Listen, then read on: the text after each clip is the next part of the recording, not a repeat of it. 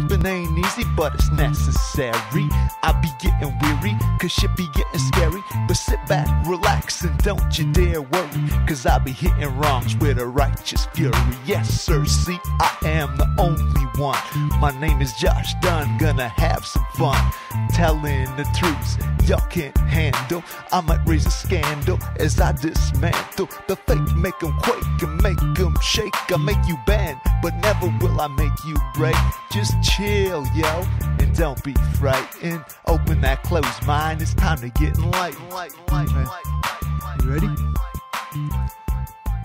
Welcome, folks, to Gimpin' Ain't Easy Cause It Ain't, episode number 26. So glad to be back. COVID has delayed us a bit, but in lieu of that, we've got another really big show for you here that I'll talk about in just a minute. But before we get to that, as always, I'd like to bring up our sponsors. Our sponsors are open for the time being, so we got to represent for them. This week, we are brought to you once again, as always, by Cafe Sampoil. It is a real Sesame Street where you can find me, Bookbird, in there reading every damn book that Sampoil has to offer, cover to cover. This week's feature book is called West Asia. It's a beautiful National Geographic style book from 1979, and it tells you about how folks from Kurdistan lived to be 165 years old, and boy, howdy, the Shah of Iran was a snazzy dresser. Now, unfortunately for you, I've snapped that book up, but fortunately for me, you can come over, jump in bed, and I'll read it to you. Either way, someone's going to be in bed, someone's going to be reading. I don't care who, but we'll get it done. Well, we're also brought to you this week by Charlie's Club, where most shots are 275 on Tuesdays. So even if you make some real bad choices, you won't go broke making them. We're also brought to you this week by the newspaper. Yep, that's right, the newspaper. If people go crazy on toilet paper again, we might have to use the newspaper in 2020. For this week's topic of discussion, I'd like to rap for a minute about popularity. By the ninth grade, I began to have emotional problems, but I began to realize I was different too. I didn't want to fit in, and I still don't, really. Sure, I wanted dates like all the cool guys got, but I wanted to be cool my own way. And I suppose that's why I never really understood why grown adults want to be popular. Just kind of hollow, you know, doesn't represent true friendship, and I don't really see how it could bring about any kind of real happiness. It's funny, I suppose, for me being in showbiz, because I suppose that does require a certain degree of popularity or fame, you know, what have you, to be successful. Popularity or fame means I make a living. Yeah, I'll take it. And there's another part of me that I don't think is so egotistical that desires a certain kind of notoriety so that my beliefs end up changing how we interact and ultimately how the world is run.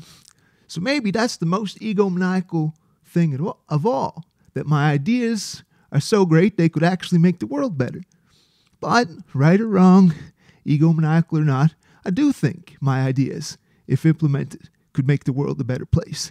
Check out my vlog on the Gimpin' Ain't Easy channel called How I Would Change the World to get hip to my views. So, accepting professional success or changing the world, I have no desire for popularity. I can't fake anything. I can't be good friends for the sake of business. I can be cordial for the sake of business. I can be friendly for the sake of business.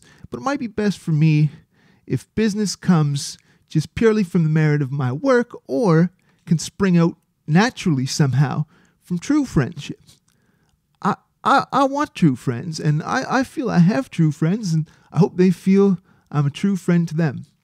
And I'm up for as many real friends as life can bring me. Real friendship is really important and not something everybody gets to have.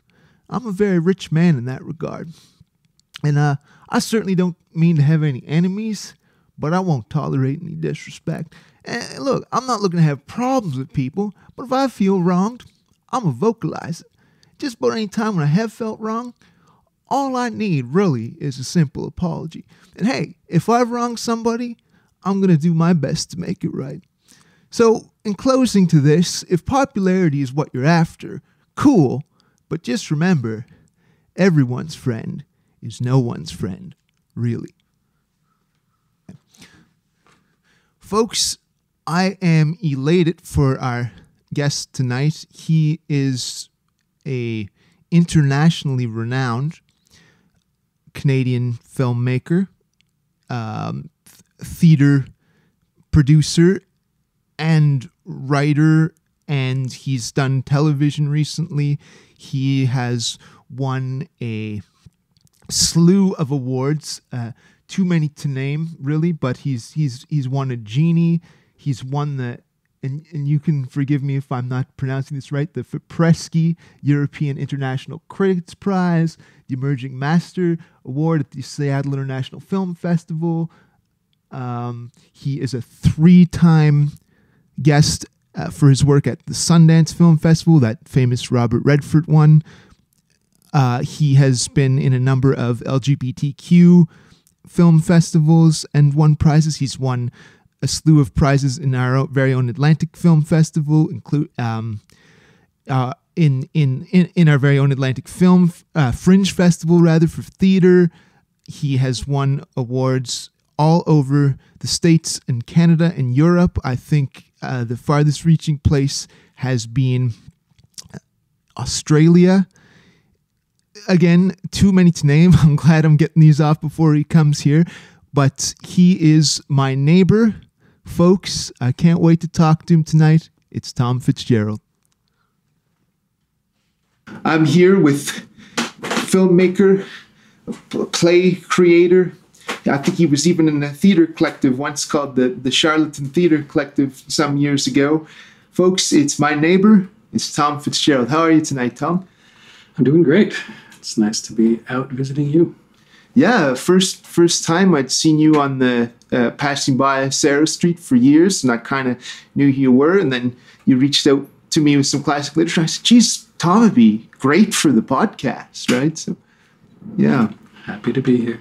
That's excellent. So, and you correct me if I'm wrong. I, I believe you were born in New York and then grew up in New Jersey. Is that accurate at all? Yeah, I was born in Westchester County, which is just above the Bronx, and. Uh, after my parents divorced when I started school, I, I went over to Bergen County, New Jersey, so always within 10 minutes of Manhattan, but uh, never in Manhattan until university time. Okay, and uh, what what was uh, growing up like for you? What, what was the childhood of Thom Fitzgerald? well, uh, you know, I'm from a great big New York Irish Catholic family, so it was a lot of uh, cousins and mud pies and uh, brawls at weddings and funerals in the grand New York tradition. And then, um, well, I guess a little of estrangement uh, once my mom ran off to the other side of the Hudson River. And, uh, you know, uh, learning I guess, a, a suburban, more suburban kind of life. And uh, always sort of felt like a New Yorker, though. Right. And so, um, so you had for a time like a, a, a, single parent upbringing from your dad, or no? My my mom uh, ran off with a neighbor. Oh wow! Yeah, she always claimed that uh, she she did, they didn't have an affair. they just ran off together. Just kept each other company. Yeah. yeah. We went on road trips. Yeah. Could be true. Yeah. Um, so, did you know from a, a young age, like um, that you you want to get into film? Um, when when did that sort of? I was always a great big lover of movies, and I can remember sort of the Seventh Voyage of Sinbad and, and Logan's Run and these kinds of things that I I really ate up as a kid. Um, I, I think, like everybody, I I dabbled, like not like everybody, but when when you are exposed to movies, the people that you see are the actors. So I did a lot of acting in uh, high school and university in New York, and um, went to school actually to study visual art, painting, drawing, which was um, I guess just a talent, a born a born talent to be able to look at something and, and render it on paper. And then while in school, I, I really sort of discovered the joy of uh, how movies combined all of my favorite things uh, the theater and photography and painting and writing. So um, it was about, about that age, around 18. Yeah, so cool. That's straight out of high school. And um, I, I know that uh, Kurosawa was a fantastic uh, painter as well. And I, I, think people said that his films could not have been uh, so beautiful had had he not been a painter. So that's interesting. And I did I did see on your Facebook that you you had uh, Nascad on there, um, and uh, as as well as uh, Bon Vivant and some other things and stuff like that. I'm trying. yeah. So no, it's really cool because I'm like my own personal practice is much uh, more speech and language and communication. So I, I don't really have a strong visual side, but I, I imagine that is um, immensely important for film to have that really strong visual. Well, it's, it's great to have an understanding of how composition works as a director. And I would say that um, in the beginning of my movie making career, I approached it very much like a painter. I, I felt I needed to build the world from scratch. I would build the sets. I would choose the color of every wall and choose the color of the costume or have the costume made from scratch to have a certain color relationship with the background. And it took me a long time to learn actually about the idea of, of cinema as a way of capturing the beauty that already exists in the world. So that's that's been a, a long journey for me. Right, like the the closest you can get to the actual what it what it's really like to represent the the the physical beauty of that on, on screen as as close as you can, eh? There are very different ways to try to capture the human experience, and you know, some artists do it from starting with a completely blank canvas, which is how I sort of learned to approach storytelling but I think it was, um, you know, those were films like The Hanging Garden and, and Beefcake in the 90s, where I would work in a studio. And um, later, uh, shooting in Europe, um, films like uh, The Wild Dogs or Around the World in Three Needles, it became for me more about trying to find beauty rather than create it, if that makes sense. Hmm, yeah, that's that's interesting. Um, to like you know start from this this blank canvas and then uh, um, as as you progress, trying to get it um, from almost going. This is a kind of a reach, but you know maybe from Plato to Aristotle or something like that. I don't know. I don't know whether that's a reach or not. yeah, yeah, because I think Plato the the the thing was in the ideal, and and for Aristotle it was in in uh, in nature. So I was curious. Um, do you do you have um, favorite filmmakers, folks who influenced you the most, perhaps? Sure, I have favorite filmmakers and films, and uh, you know, in my youth, I thought a lot about Peter Greenaway. Um, you know, The Draughtsman's Contract, The Cook, The Thief, His Wife, and Her Lover, as a filmmaker who was also sort of carefully building the world from a blank canvas from scratch, um, not really trying to capture what life uh, is really like in a visceral way, but trying to create it in a more painterly way. Um, but I, I'm actually really a great fan of genre. I mean, my favorite film is Alien. I think I've seen it 50 times another film that's like st- stunning mm-hmm. in terms of the creation of a world. Is that is that Ridley Scott? Yeah. Okay. Yeah. Right. He's yeah. Um, um, so I didn't. I don't even think I had this wrote written down. But what what was it that attracted you to Halifax? Well, I was going to a university called the Cooper Union for the Advancement of Science and Art in New York City, and uh, that's a great school uh, downtown near NYU, and um, I I had always been in the New York area, and I was sort of looking to expand my horizons a little bit and and to sort of see something of the world. My film teacher, I, I was taking a scratch animation class where you sort of actually took the roll of film and a needle actually drew wow. right on the cell. Um, and she recommended uh, NASCAD for having a course in conjunction with the Atlantic Filmmakers Co-op, taught by David Middleton. And I, I thought that actually sounded like a great way to spend a term.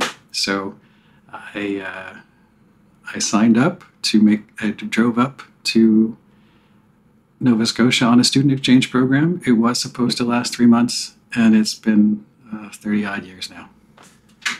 Wow, from three months to 30 years. That's It's like Gilligan's Island. incredible. Yeah. Um, so in preparation, I've I had watched a, a number of your films, not not everything, but I watched uh, The Hanging Garden, and I watched Beefcake, and I watched Three Needles, and Stage Mother, and I even saw um, the first episode of Sex and Violence. And what really struck me about your work was that I don't think there is, uh, at least not to my uh, untrained eye, a distinctive uh, Thom Fitzgerald style or, or mark. I, I, I thought the pictures were, were all, and this was kind of what most impressed. They were all so so vastly different. I, I thought, you know, because the Hanging Garden is kind of like a, and uh, you can forgive me if I'm you know, miscategorizing it in any way. It's kind of kind of like a you know a, a, a maritime story, and then Beefcake is kind of like documentary, but much faster paced and zazzy. Like, oh, meet this guy, you know, and that kind of stuff. And I, uh, it, it took me a minute. I didn't realize that the the like the black and white stuff was actually reenactments, you know. Well, some of it was and some of it wasn't. Oh, okay, that's what did it. That Yeah, was part of what I was playing with Yeah. in that movie.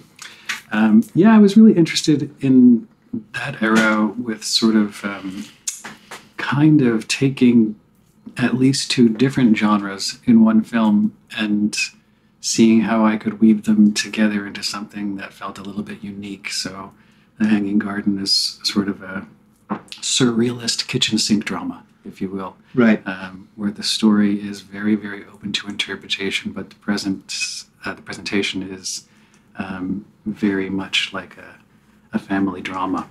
Or Beefcake, um, docu comedy was my idea. Right. to sort of take these very kitschy 1950s and 60s movies that looked very, very fake Right. um, and actually talk to the men who made them or appeared in them, and then sort of recreate their stories in uh, B movie style from that era. Uh, so, you know, it, it was a great fun trying to create these sort of offshoots of genres. Yeah, it's really interesting, right? And then like Three Needles is um al- almo- like, and again, this might not be the right characterization, but I, I, I saw it as kind of like a you know almost a National Geographic or PBS Nature kind of you know this. Uh, wonderful and, and, and really meaningful to me because I don't get to travel a lot. So I, lo- I love to see cultures that are, you know, very different from my own. And, um, and then in, uh, in, in Cloudburst, like uh, that one struck me as the most comical. I, I thought I thought it was very very funny, and um, and then to go into uh, sta- stage mother as I, I, I would classify as as a musical essentially, right? Sure. Yeah, So yeah, I really try to approach each movie as its own thing, and I know that there's filmmakers who sort of have a very, very strong um, identity in the work, and their personality and their interests shine through in everything that they do. I try to not so much take a back seat to the story, but to treat each one as a completely unique work. Um, and so that doesn't mean that I don't work with a lot of the same people from time to time, but we really try to pinpoint what is completely different about the story that we're telling this time around and sort of not really try to emulate what we've done before. So uh, I mean I guess it, I'll take it I'll take it as a compliment, Josh, that you yeah. see that work going into it. So, uh, as well as your films, I, I know that you've worked in uh, television and theater as well. Um, and I just wondered if there was a medium you prefer, or and uh, are they are they too different to even compare? Like, Well, theater and screen is a really different experience for everybody on the creation side, um, from the from the writing, um, because when you're telling a story on stage, it really the, the parameters are so strict, and you can do uh, only only so many characters, only so many locations, and then you really have to trust the audience's imagination to create all those worlds on a stage because no amount of set can really do that. right, And then on a movie, uh, you know, there there's almost no limit now to what you can imagine, and you know, whereas on stage you might write a, a 15 minute scene, it's it's pretty rare in movies now that scenes go longer than a minute. So it's a it's a very different process, and uh, directing is the same. You know, creating theater, although it can be very hectic, it's a it's a long focused effort on doing the same thing over and over again. Film sets, television sets in particular, are frenetic, and everything is always new. wow, You're often in a new location every day, and the actors are always doing scenes they've never done before, and often working with actors they've never met until the moment. Um, and so the sort of amount of planning and control is hugely different worlds. Um, I don't have a preference. I'm actually really grateful to be able to do both kinds because it it allows me to use different parts of my brain and creativity at different times of, of life.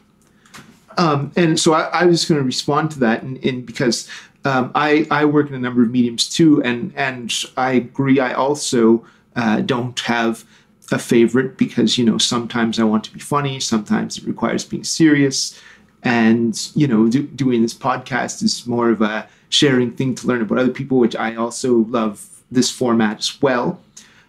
So I think it is is good to have a chance to express oneself um, with different mediums. And I wanted to ask uh, before we get too far into it. I I think this is you are gay, right? Oh, gay enough. Gay gay enough. Yeah, I'm straight enough, I guess. Uh, but uh, Well, there you go. I don't know. My legs are pretty crooked, so walking not so much. But uh, and I, I've only not even had one drink, folks. Uh, but but um, Where is this going? yeah. Did, did you is that is that something that you always um, knew about yourself, or did, did did you come to a realization at one point? I think my uh, sexual identity has, has been pretty much the same since I can remember being four or five years old. And I was not uh, not under any illusions, but it was, you know, 1972, 73, and uh, there wasn't a lot to be said at the time. You, you sort of went along with the, the flow of things back then. Right. So you didn't really, um, you weren't able to really e- e- express that so openly at that time, or Oh my gosh. Uh, my beloved group of 20 cousins would tell you that at the age of five, I was running around um, in Westchester County with a purple towel on my head, claiming that my name was Valerie and insisting that everybody call me that.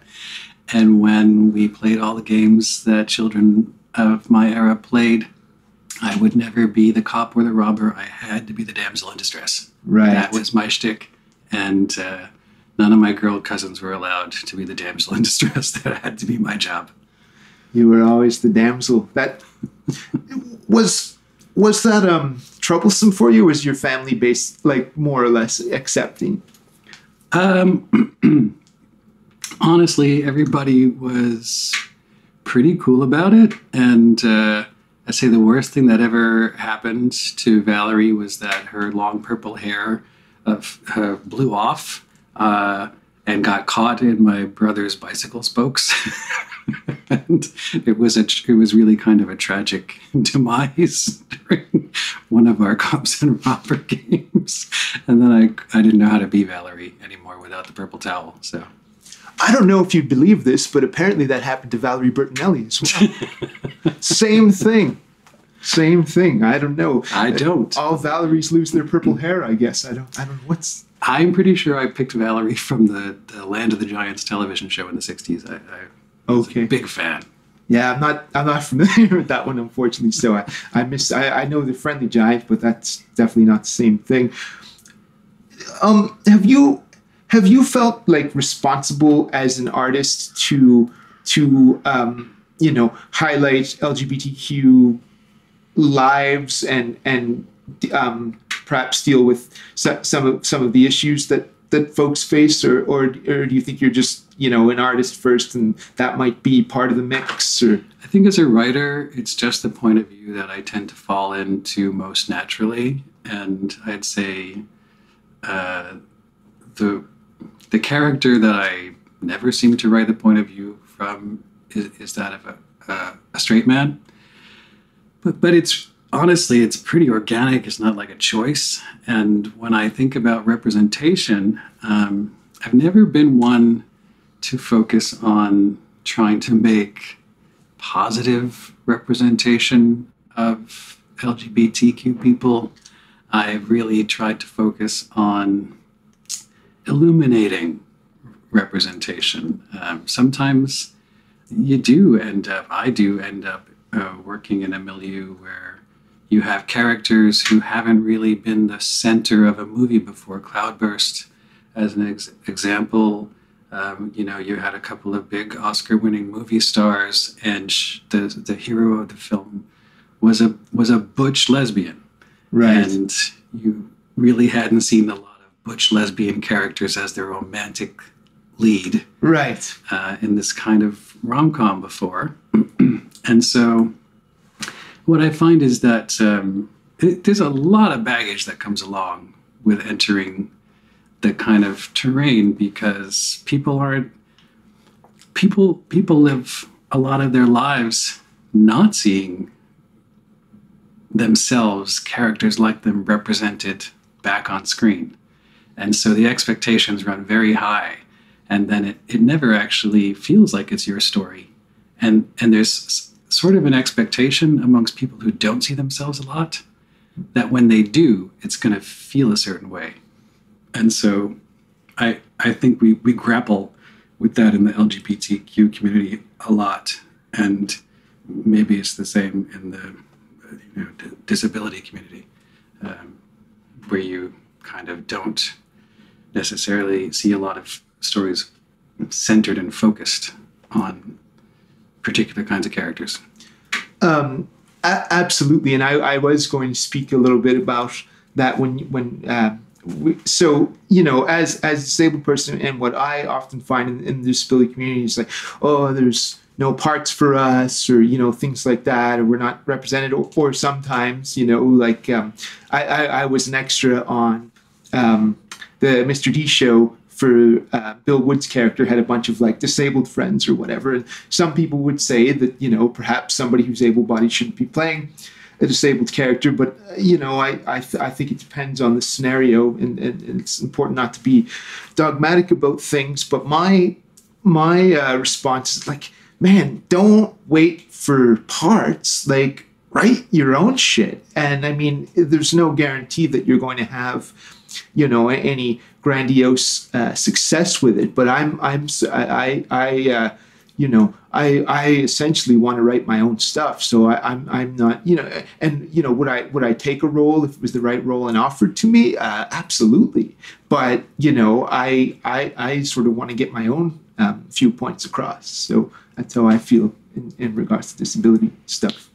Yeah, and you know, as a as a fellow writer, I agree. Although I, I certainly respect the plight of performers who you know don't really have that uh, skill or interest in in writing roles for themselves. But I never, um, you know, they're, they're, two different issues essentially. But um, I really never ask anyone about sexual identity in the course of the audition process. It's uh, it's not it's not really okay to ask. So I, I we've got a lot of focus right now on casting, authentic casting um, in movies. And when it comes to sexual identity, I, I think that's not quite the same thing as visible minorities or differently abled people. It's, it's uh, acting is a different question. Right. Um, yes. The the sexual identity is is is not as um, uh, vi- visible as you know, like a, a disability thing or a or, or a racial minority or you know. I mean, uh, you know, the if, if, there was some, you know, question as to my authenticity, it's like, uh, w- w- what do you do in committing welfare fraud? No, no, I'm actually disabled. So sorry to disappoint you, but it's the truth. Um, just before I, I, I moved on, um, I, I, know we didn't want to get to real big issues, but I'm just curious your your spin on this. If you thought maybe that, like since, since you were sort of conscious of, of your own identity in, set, in 72, have you seen um, LGBTQ rights improve? Are they still the same? Are there and I know it's a complicated question. And are, are there some ways maybe where they've had a backslide and gotten even worse today? Yeah, I think it's a big world. And I think about that a lot um, every summer come Pride time. Right. Um, because, you know, we live in a place where things are pretty all right. And there's been an incredible change over my lifetime in terms of well, the, the peaceful feeling you can have as a, a minority and to feel safe for the most part. Um, and yet, in other parts of the world, things are still very fraught and um, dangerous for LGBT people. And also, in some places, they, they have gotten worse. So, I try to put a little bit of effort each year into um, that kind of advocacy. Everyone loves a parade, but I think it's important at the same time to, you know, set aside a few hours to write some letters to our political representatives and talk about our international relations and, and what's going on in parts of Africa or the Middle East where, uh, you know, our LGBTQ brothers and sisters uh, are really suffering and try to make an impact in a broader sense. Do, do you think our politicians take heed to those letters and stuff or, or? probably not as much as I would like. Right. Yeah. Yeah. Yeah. Because it's not, you know, it's not really cha- changing uh, that that much in the third world, perhaps in a lot of ways. No, but in parts of the world it is, and it's sometimes nice to be part of those conversations in different ways. You know, um, I think in not, uh, you know, what, was it? Almost ten years ago now, but Cloudburst was released in Australia at the height of their political debate about same-sex marriage, and it, it became a, focus, a way to focus conversation and actually have a, a piece of a story, a, a, work of art to have public dialogue around. Um, and so, you know, in both ways, I think advocacy and, and also art uh, function in these ways. I, I was really, I was really more interested in, in that story of Cloudburst. It, it wasn't I wasn't really interested in making a pro anything. I was really interested in these characters who had not had access to something for such a long time.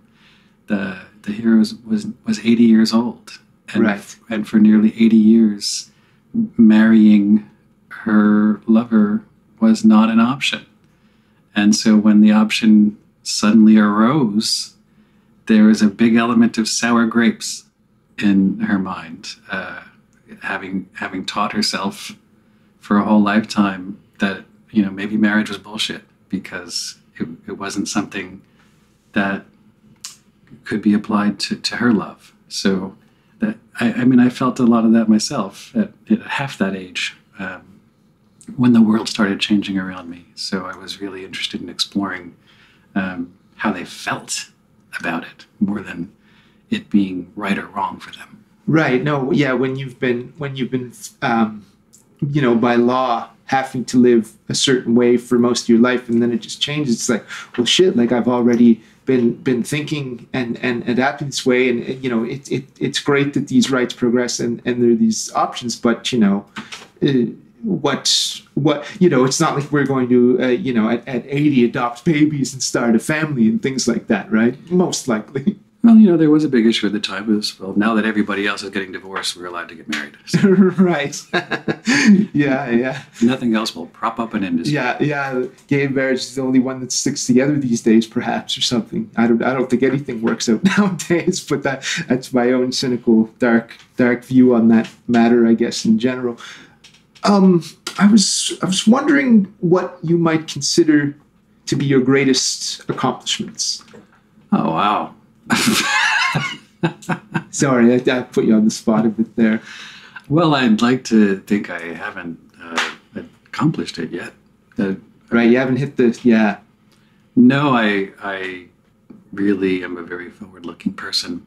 I think um, I have a lot of strong creative impulses, and um, I don't seem to ever really, you know, face the kind of, of block that a lot of artists face in their lives, or at least I not not frequently and and not in a big way. So I'm just kind of always looking forward to bigger, better, um, more perfect.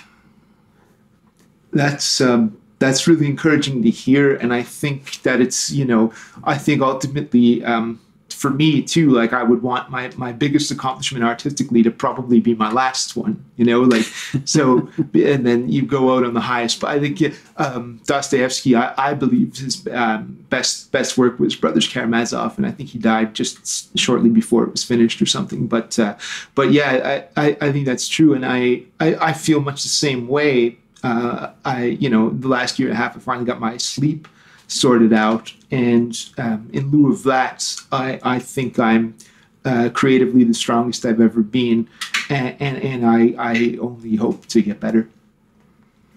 Well, maybe, yeah, your best joke will be the one you tell right before you go. Right, uh, I can't take this anymore, and just bye. Um, but uh, do you do you have any regrets? I was just writing a scene about that, um, where the character answered that question with every day, Every day. every day. So yeah, on a small scale, every day. Um, but I also know the pointlessness of regrets, um, and I try to think of everything that goes terribly awry as a great opportunity to learn, and I actually think of myself that way a lot as a lifelong student and never a teacher. That when uh, when I screw up, and I do, and it's a fairly regular basis, that that is really all part of a being human, but b is kind of the essence of being an artist. You you never learn, you never never learn from doing it right. So uh, it's it's a process thing. Yeah, I, I don't know if this is an apt analogy for you, but um, I'm a, I'm a big baseball fan, and you know to be a, a 300 hitter, which is considered uh, excellent, you know you have to fail uh, seven out of 10 times to, to make that 300 mark. So so to fail um, most of the time uh, in, in, in in baseball and hitting is still excellent, you know. Well, when I was seven in Little League, um, I I hated baseball, and my mother made me play because my brothers were playing, and so it just gave her a couple hours break. But my brother was pitching an absolute perfect game, and I was on second base, and there was a really jeezily easy pop fly, and you know I missed. It bounced off my glove. It bounced off my hat. It went on the ground. I ruined. I ruined my brother's perfect pitch game Oh no. and he never forgave me. So that was oh, my regret. I have found it. My regret is missing that pop fly. on, on my baseball analogy, you found finally found the biggest regret that you've had. Yeah, that's hilarious. Um, I, I just um, I just wanted to take uh, some time. I, I don't. Uh, there may there may be some other things, but I know I'm pretty sure you've got splinters in in theaters now or very soon, and that you have got a it's either a TV show or a or a web series called uh, Cam Boy about to happen. Yeah, Splinters is out in theaters in some parts of Canada right now, and it'll open in Halifax this month, sometime later in the month. Uh, and that is uh, based on a 2010 stage play by Halifax playwright Lee-Anne Poole. It's a story about uh, a young woman with a fluid sexual identity who uh, is she's she's estranged from her mom. She's got to go home to the Annapolis Valley for her dad's funeral. Fraught with tension enough, but having really uh, caused her mother great grief when she came out as a teenage lesbian, she's now uh, very hell bent on keeping it a secret that she's been dating a man for two years, who, loving boyfriend that he is, of course, takes it upon himself to, to be supportive and show up at this family funeral.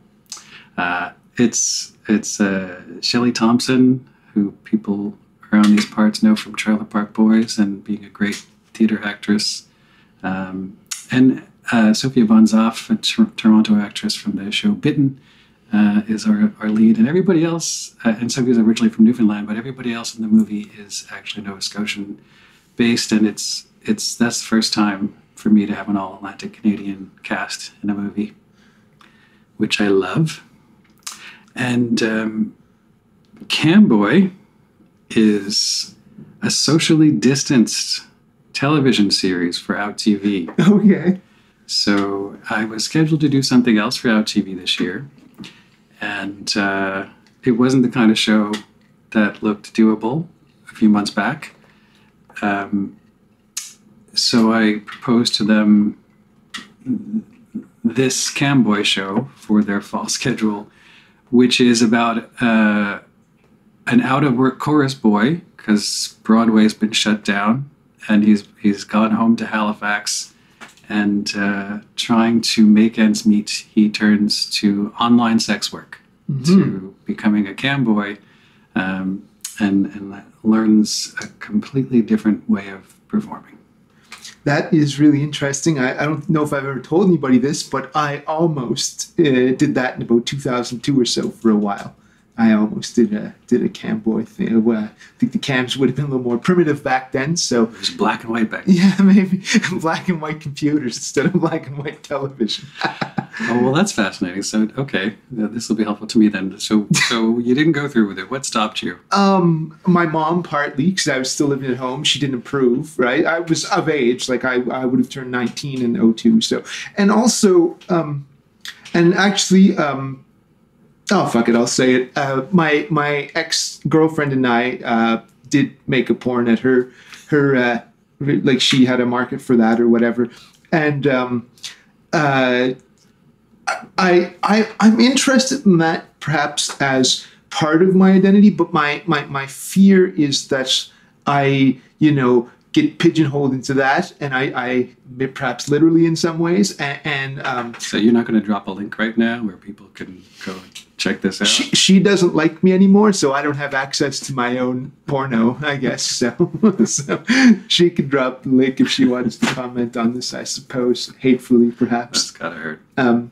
yeah, uh, but no, that's interesting. And I, I love the fact that you were talking about, you know, as as much as possible having a all um, a- a- Atlantic uh, cast. That's I think phenomenal. And uh, Yeah, I was really uh, thrilled about that. I was so excited to shoot in the Annapolis Valley, which is just, I think, one of the most beautiful places on the planet, and really being able to actually show it to the world in a, in a story that's set there on film. Um, because I'm sure the Annapolis Valley has played America pretty often, but mm-hmm. it, it it's it's not just about the looks; it's it's a flavor, right? It's that sweet scent of apples everywhere. yeah, yeah, I remember that from from grade four. Going on Apple Picks as the class trip stuff. It's great. I I was curious, like, what advice would you have for a young, you know, filmmaker, television creator, theater maker who's who's maybe just starting out or maybe has been doing things for a while is trying trying to make it. What what would you um, what what what might you suggest for them? Well, I, I would give you a, a couple pieces of advice that I got when I was young, and I found them both very helpful. The first one is to show up. Right. Um, you know, it's it doesn't necessarily matter how much. I mean, it, it matters how much talent you have. It matters about the work that you put in. But you know, uh, you can write a very good screenplay, and you can mail it to every producer and distributor in the world. But and they can read it and be moved by it Right. but they're not going to call you. Right. So their world is populated with opportunities to meet other people. You've got your Toronto Film Festival, your Atlantic Film Festival, uh, your Sundance. Um, you know, don't wait to be invited. You uh, save your pennies and show up uh, at these industry events, and it makes a big difference when you're ready to pitch your project if the people you're pitching to have seen your face around for the last year or so at these various industry types of events. And the best piece of advice I got one very nervous day at the Toronto Film Festival um, was to bear in mind, as humiliating as it may be, to have to go ask somebody for money or permission to make your work of art that those people whose business it is to uh, allocate that money um, they need you just as much as you need them. Those people who are executives and are not artists and who cannot create the products themselves absolutely need your talent. So you know there's there's a weird sense of hierarchy when someone controls the purse strings. Mm-hmm. and and you don't necessarily feel like you're the necessary component to creating the work of art but you really are as an artist.